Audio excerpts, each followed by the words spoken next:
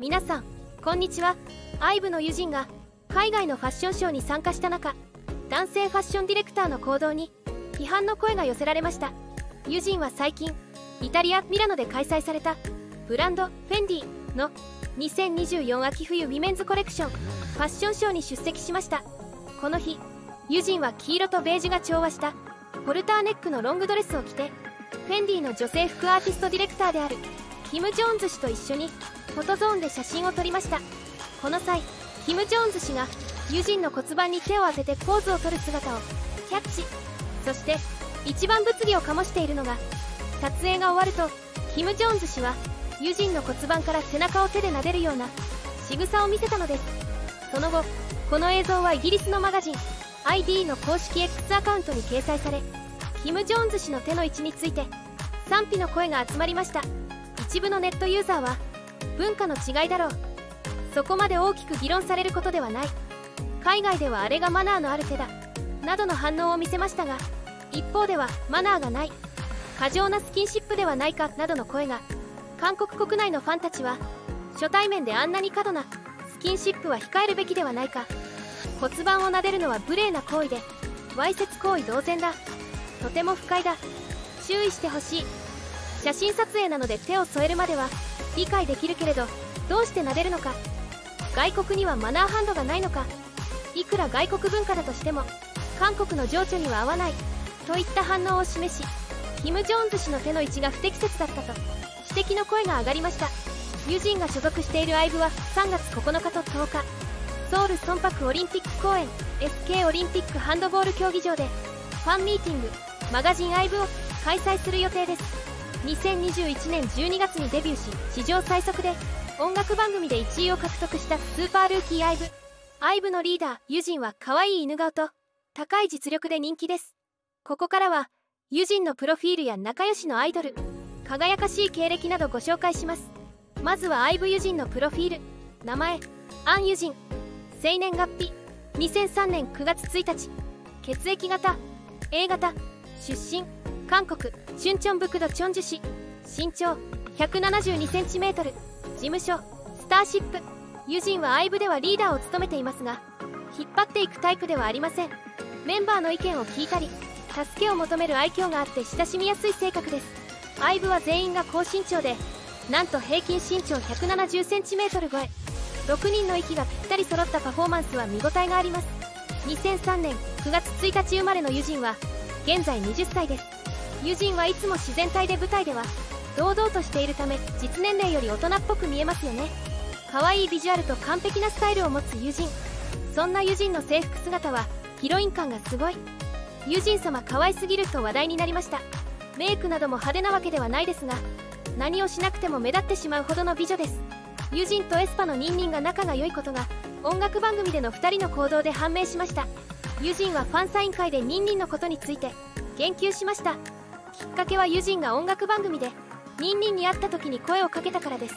ユジンとニンニンは年も近いことから知り合ってすぐ意気投合し一緒に食事をしたそう。明るく気さくな性格のユジンらしいエピソードですね。ユジンはイッチのユナとも仲良しです。別のファンサイン会でファンが IVE のメンバー以外で仲がいいメンバーを聞いた際にイッチユナとエスパニンニンと答えたそうです。2021年2人がレストランで食事をしている。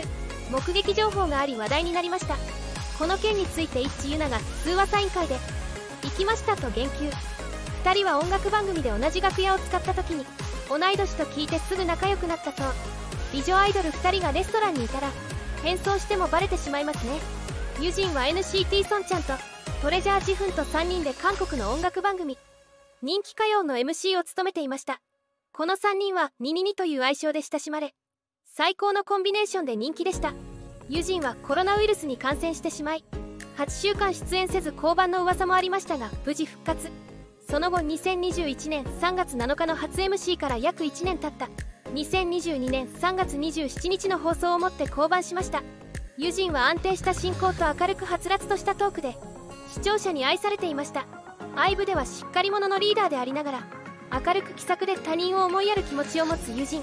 IVE では年齢が上から2番目の友人ですがアイズワンで活動していた時はマンネラインでした。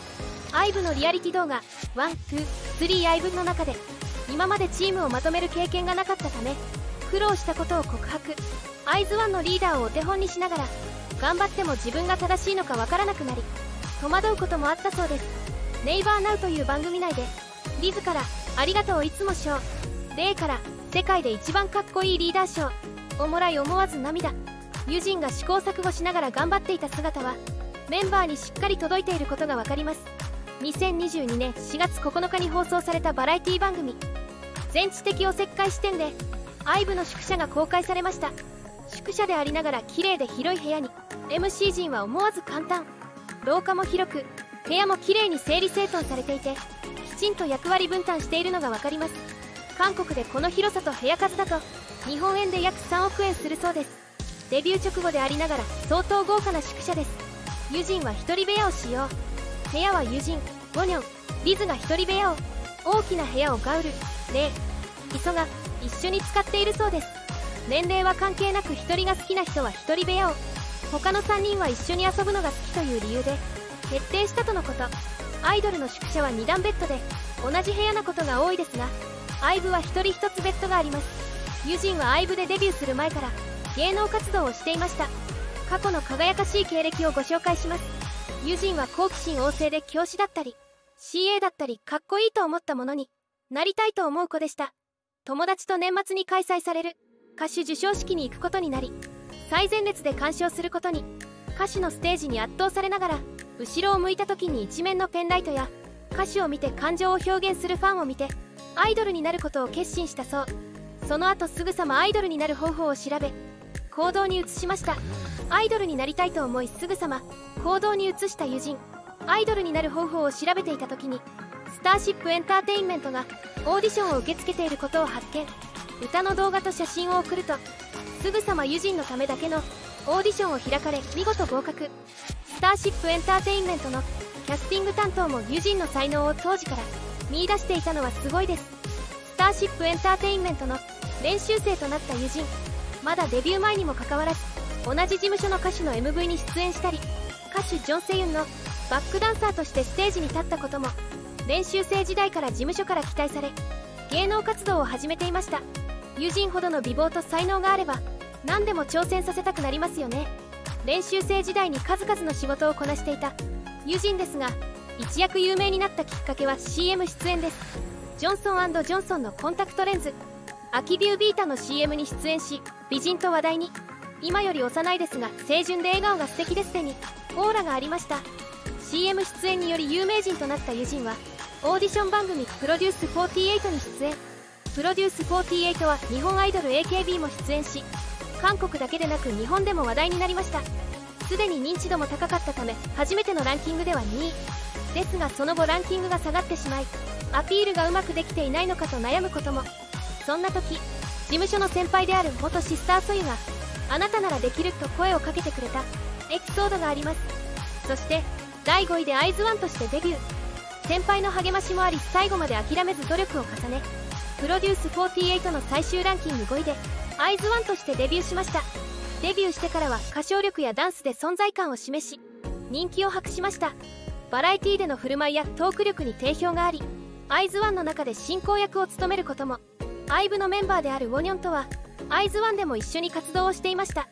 韓国大人気ガールズグループ IVE のリーダーユジン。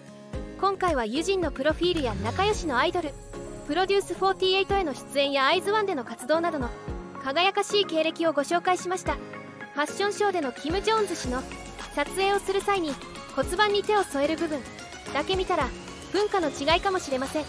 けれど撫でる仕草には違和感を覚えました。腰に手を当てるだけならともかく触れてから撫でたらアウトかなと思いました。ユジンは戸惑うことなく撮影を終えていましたが心配です。最後まで動画をご視聴いただきありがとうございました。コメントを残してくれると嬉しいです。高評価チャンネル登録もぜひお願いします。それではまた。